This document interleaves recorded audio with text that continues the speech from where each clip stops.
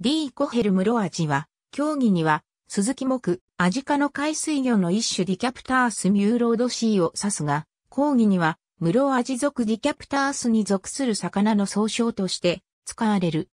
全世界の熱帯、温帯海域に約10種が知られる。ただしマルアジティマーデシーはマージトレイクユリス、ジャポーニカスによく似ていて、ムロアジ類とはまた別に扱うことも多い。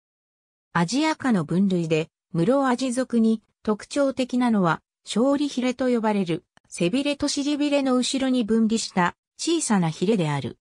他にも、側線状の両鱗が体の後半の直線部にしかないこと、体型が前後に細長い円筒形であることなども特徴となる。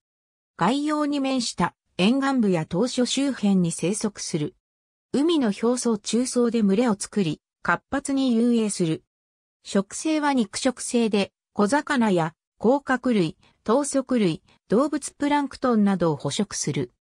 産卵期は5から6月で、この時期には沿岸の浅場に接近する。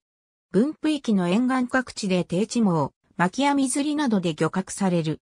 旬は夏とされている。用途としては、マージより血合い肉が多いことと脂肪分や旨味が少ないことから干物にされることが多い。室味類の干物として日本で有名なのが伊豆諸島で作られる草屋である。草屋に使う草屋、駅のことを魚質と呼んだことから室味の名がついたとも言われる。また、鰹節のように燻製にして、固く干したものは、出し取り用に、鰹節同様に用いられ、特に中部地方で好まれる。